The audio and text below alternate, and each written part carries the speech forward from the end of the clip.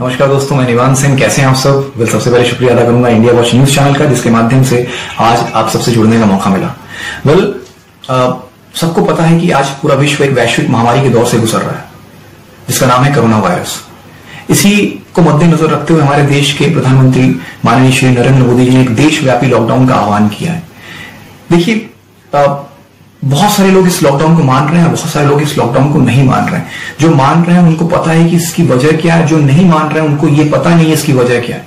मैं आपके माध्यम से उनको बताना चाहूँगा कि, देखिए, अभी तक पूरी दुनिया में इसका कोई भी इंजेक्शन वैक्सीन कोई टैबलेट कैप्सूल इजाद नहीं हुआ है। तो डॉक्टर साइंटिस्ट इस, इसका इलाज बता रहे हैं फ़िलहाल के लिए। वो ये है कि सोशल डिस्टेंसिंग यानी एक दूसरे से दूरी बना के रखिए। क्यों? क्योंकि ये छूने से फैलता है, ये आपके थूक के पार्टिकल से फैलता है।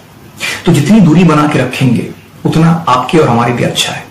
लेकिन बहुत सारा एक बड़ा तबका इस बात को समझने की कोशिश नहीं कर रहा है। वो लॉकडाउन के बाद बावजूद भी बाहर जा रहे हैं वो आपको रास्ते में टहलते हुए मिल जाएँगे बिना मतलब के कोई रीजन नहीं है। सिगरेट पीते हुए ग्रुप बना करके बात डिस्कशन करते हुए कोरोना वायरस के बारे में मिल जाएँगे आपको। लेकिन समझने की ज़रूरत यह कि आप सिर्फ़ अपने लिए खतरा पैदा नहीं कर रहे हैं, बल्कि पूरे समाज के लिए, अपने परिवार के लिए, अपने माँ बाप के लिए, सबके लिए खतरा पैदा कर रहे हैं क्योंकि ये एक एक बंदे को होगा, वो एक बंदा अपने साथ और दस लोगों को जोड़ देगा, वो दस लोग और सौ लोगों को जोड़ देंगे।